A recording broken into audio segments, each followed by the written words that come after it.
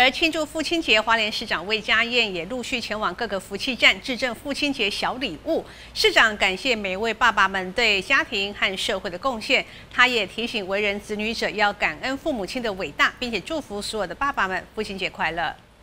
在母亲节的时候，答应爸爸们也要送礼物。花莲市长魏家燕在父亲节前夕陆续前往各个福气站致赠小礼品，也慰劳爸爸们的辛劳。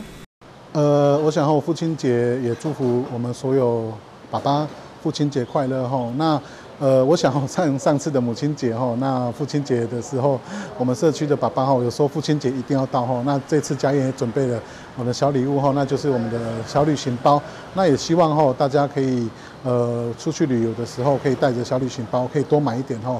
那在这边刚刚也到各个社区吼，那关心大家，也跟大家说吼，花莲目前最重要的是要振兴观光，也邀请我们所有的爸爸吼，他的不管是以前的同学或是军中的同袍吼，都可以在暑假的这一个期间吼，来到花莲过父亲节吼，邀请他们的同学一起来到花莲旅游。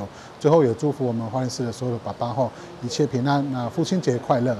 市长魏家燕带着方便实用的提袋，一一送给各个福气站的爸爸们。他也叮咛大家，天气很热，要注意防晒，多补充水分。同时，市长也呼吁为人子女者要多关心家中长辈的健康状况。不止父亲节和母亲节，平常每一天都要表达对父母亲的关怀与感恩。记者会换事报道。